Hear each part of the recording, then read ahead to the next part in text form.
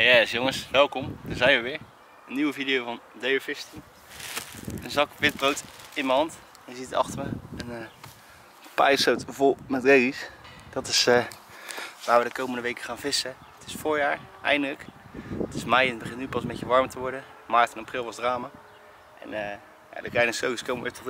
De dikke bakken van het open water die komen weer naar de kleine soos toe. Dus ik ga gewoon weer proberen een dikke te vangen. Ik heb nu twee jaar brei 30 gevangen aan de oppervlakte in deze periode. Dus uh, het zou mooi zijn als ik drie maal scheepsrecht is. Dus uh, nou, we gaan het lekker proberen. Je ziet hier de uitrusting.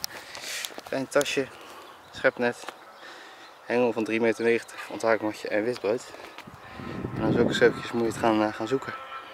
Ik heb wat karpers gezien, een paar in de giebel, maar het is nog niet zo wild als normaal. Dus we gaan gewoon verder zoeken. Het moet vanzelf goed komen.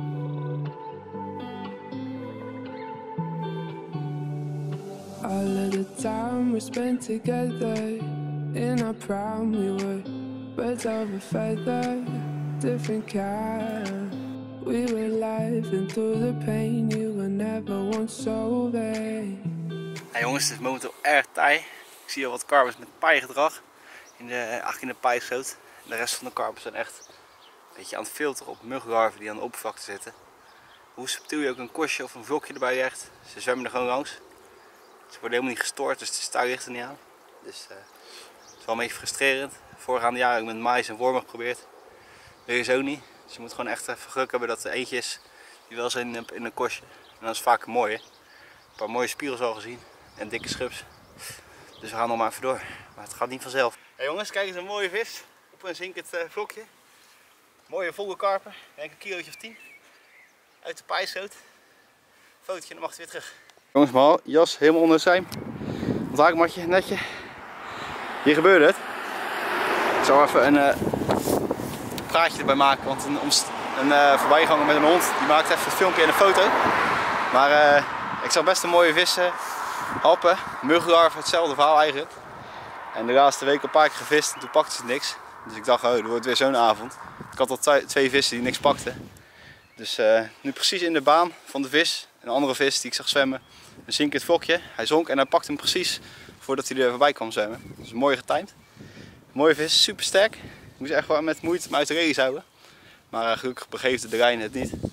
Dus uh, ja, mooi. Het is denk ja, tweede oppervlaktevis van het jaar. En dat er nog veel mogen volgen. Op een zinkend vlokje. Dus uh, kunnen we weer tegenaan. Nou, jongens, dit zijn toch vaak de stekjes waar je wil zijn van het voorjaar. Je ziet dit, reis met je drijfvaal, met je schuim op het water. Veel uh, camouflage, veel opties voor voedsel. Zulke soten zitten dus ook helemaal vol met muggenlarven. Waardoor dus de karp echt aan de oppervlakte verschijnt en je goed kan observeren. Je ziet hier, ik heb een poorhuidbrilletje op. Ideaal. En uh, ja, daarmee gaan we gewoon struinen. Kilometers van deze vaarten lopen we langs, fietsen we langs. Op, de, op zoek naar de juiste vis. Je kan heel selectief vissen. Dus als je een dikke erbij of een spiegel, kan je die uitzoeken ten opzichte van de schubs. En uh, ja, ik ben blij dat ik er eentje heb. Mooie vis en we gaan weer verder. Daar hebben we jongens. De amateur. In de boom. Hij is nu al daar.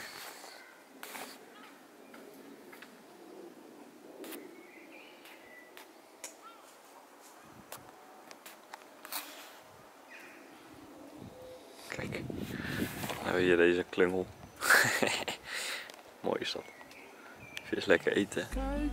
Iets lekker prikkelen.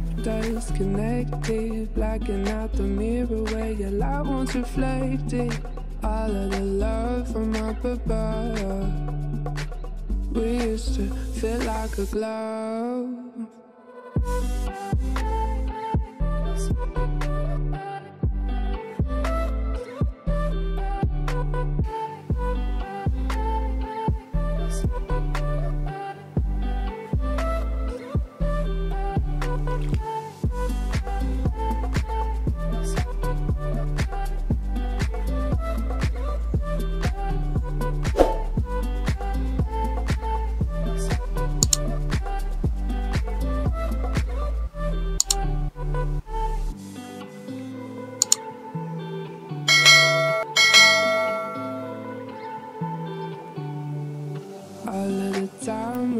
Yes.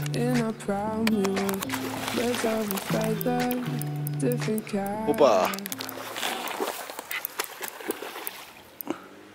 Hang jongens. Hey jongens, misschien zagen jullie het op camera. Een beetje reurig. Ik was mijn kostje uit het, uh, uit zicht geraakt. Ik ben vaker bij zo'n vuilhoekje.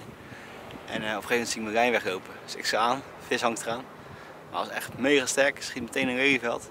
Waardoor de lijn uh, brak. Dus dat is zonde. Zaten er wel meer te helpen. Dus ik heb even kosten gevoerd. Nieuw haakje aan. Misschien dat ik er nog pak. Aan het zien. Nou ja hoor, dames en heren, daar zitten we dan. Op een stoeltje in het zonnetje. En dat is niet voor niks. Het is het struinseizoen. Maar je ziet het, ik heb een brace. Ik heb mijn knie dubbel gekapt tijdens de voetbal. Echt ellende. Waarschijnlijk een uh, gescheurde knieband. En als het tegen zit ook nog een kruisband. Dus daar ben ik wel heel even zoet mee. Ik kan amper open. Je ziet het, op krukken. Maar ik kon niet laten om toch even te vissen. Dus ik ben afgezet door mijn vader. Lekker zonnetje. En ik heb mijn penspullen mee. Dus daar de Partcomics, premium Partcomics van Tijden het kopen heb ik gebruikt. Ik heb hier wat brickmais. En hier zijn de pellets. Twee soorten pellets heb ik door elkaar gegooid. Dus uh, ja, daar heb ik een voerpakje mee gemaakt. En zodoende zitten we vissen. Het is even anders dan ik had gehoopt voor het struinseizoen. Paar mooie gevangen op de korst, maar uh, nog niet zoveel als ik had gehoopt. En nu halverwege het struinseizoen, het is juni, gebeurt dit. En daar ben ik nog even zoet mee. Dus de voetbal die gooit goed in de pannen, goed in het eten. Maar goed, we gaan het gewoon proberen vandaag. En uh, misschien vangen we zo vis. Ik denk het wel. We gaan ervoor.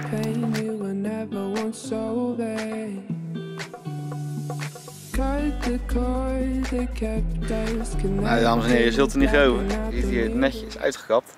Ik uh, had daar aan de andere kant bij die boom ook een stekje gemaakt. Heb je ook een duiker. Hier zit ook een duiker. En uh, nou, ik had een visbeet. Mooi karpje. Nou, ik ben mijn manke, mijn manke negenspoot rustig hier naartoe gelopen met mijn kruk om het schep te halen. Sipje open, nou, prima. Die vis 50 meter verder gezommen. Nou, ook prima, zat er nog aan. Dus ik kwam binnen en ook voor het net schiet hij eraf. Nou, ik denk, wat is dit nou weer? Dus, nou, weer even gevoerd. Hier een beetje gevoerd. Net even met rust gelaten. Pennetje staat er weer. En uh, hoop ik dat hier nu een vis van af gaat. Want uh, hier heb ik nu drie karps gezien, allemaal aan de oppervlakte. En er zat niks aan de pen. Niks op de bodem. Dus uh, het zien. Yes, kijk eens aan. Ik rol mijn top niet te stoppen. Zonnetje op de achtergrond. Volgens mij niet zo rood. Maar het pennetje het ook mooi weg. Het is toch mooi sport dit. Lekker een rechte stokkie. 1,75 LBS. 13 voet. En een van manke, manke potenvoet. Dus uh, ik ga hem even scheppen en dan ga ik hem zo laten zien. Ja hoor, schrik niet. Het is zwart met PW op de pen. nee, het is echt een ultieme knol. Maar heel zo erg sterk. Gewoon leuke sport. Dus uh, het pootje mag weer terug. Zo, dit gaat amper. Maar goed, hij mag weer terug. Ik doe het even zo.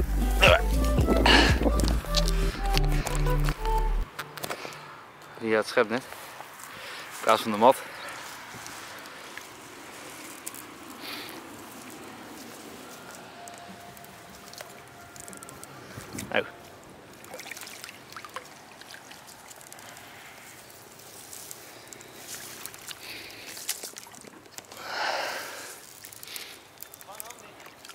Gaat net terug. Nou, alles is weer lekker nat. Maar goed, ik heb wel even lekker een avondje vissen gehad. Gewoon gereden. Ik hoop dat het een beetje gaat herstellen. Dan kan ik binnenkort weer nachtjes doen. Maar uh, ja, als het tegen zit en het is echt die kruisband. Ik heb een jaar uh, revalidatie, een operatie en alles. Dus zit ik niet op te wachten. Nou komt mijn moeder weer mee ophalen. Dus je bent zo afhankelijk als wat. Maar goed, toch een karpje erbij.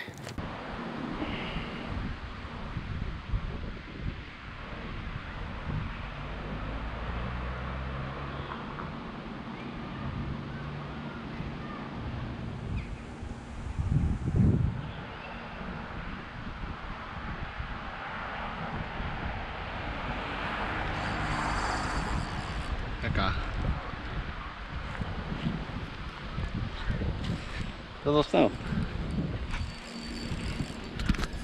Ah, een beetje op film. Dat is mooi.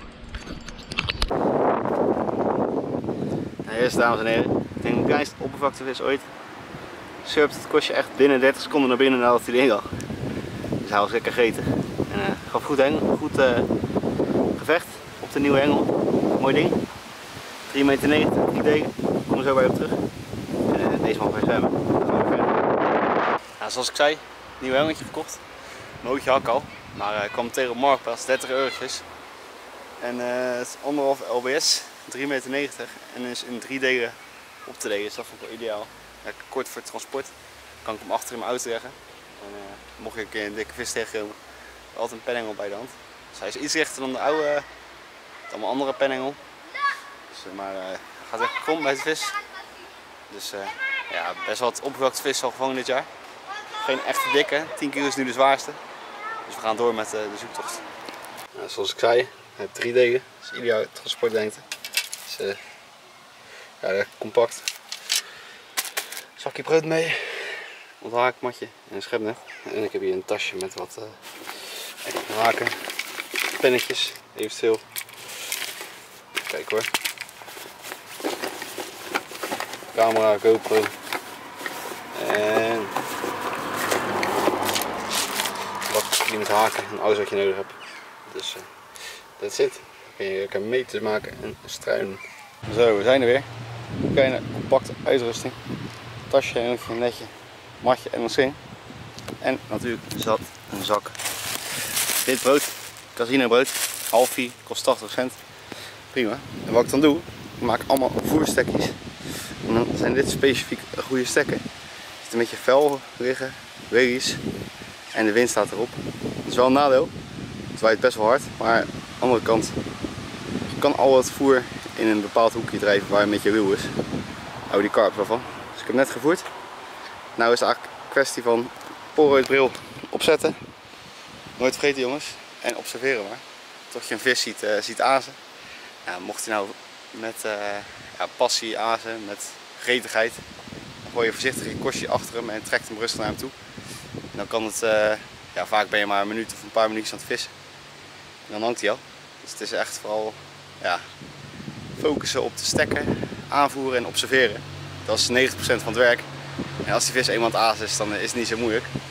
Dus uh, ja, een paar stekjes zo aangevoerd. Hier zo en aan de overkant van, uh, hoe heet het, hier zo van dit gemaal. En dan ja, is het afwachten tot de vis gaat azen. Ik ben benieuwd. Nou jongens, het is toch wel een beetje te taai. Het gaat steeds harder waaien. Het donker, de zon gaat weg. En het zou vanmiddag ook gaan omweren. Een paar druiige, warme dagen gehad. Dus niet het beste moment. Dus het weer mooi weer is, ga ik weer terug al even een dikke bak vangen om de video compleet te maken. Natuurlijk al één mooie uh, vis gevangen van 10 kilo op een uh, korsie. verder ja, die 30 die wil ik toch nog hebben dit jaar. Tot nu toe uh, twee jaar achter elkaar een 30 op de korst. Dat is toch wel het mooiste doel van het jaar. Dus ja, de zomer is nog lang. Oppervlakte video voor dit jaar. Vond je nou leuk? Doe een blauw duimpje omhoog. Abonneer voor meer. Laat een leuke reactie achter. En ja, misschien de volgende keer weer penvissen of, of wat anders doen. Heb je leuke ideeën? Laat het vooral weten. En dan zien we je volgende week weer. Dat is.